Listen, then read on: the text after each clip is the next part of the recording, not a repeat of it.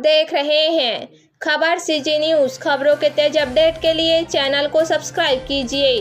जांजगीर चांपा ज़िले में लगातार बारिश के बाद महानदी का जल स्तर बढ़ता ही जा रहा है और अब सीरी नारायण में सबरी सेतु से महानदी का पानी ऊपर आ गया है, जिसके बाद प्रशासन ने पुल से आवागमन बंद करा दिया है।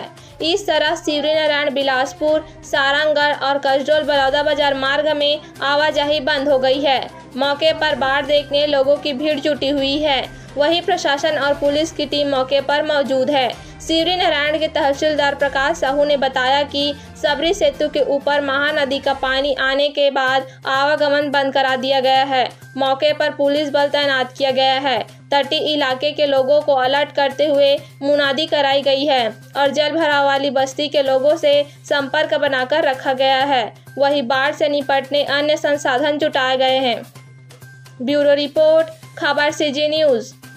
हमारी खबरों को फेसबुक ट्विटर और इंस्टाग्राम में भी आप देख सकते हैं।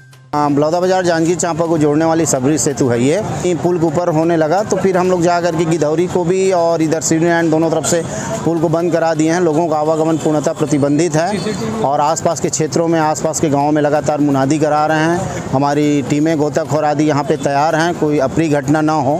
अगर कोई बारिश बारिश के पानी से या नदी के पानी से इधर आ जाते हैं तो उसको बचाने के लिए हमारी टीमें तैयार हैं। और हमने अस्थाई कैंप के रूप में मान लो पानी शहर में घुस जाता है, ग्रामीण एरिया में घुस जाता है तो अस्थाई कैंप की व्यवस्था किए हुए हैं, जहाँ पर उनको राहत सामग्री और रहने की व्यवस्था कराएँगे।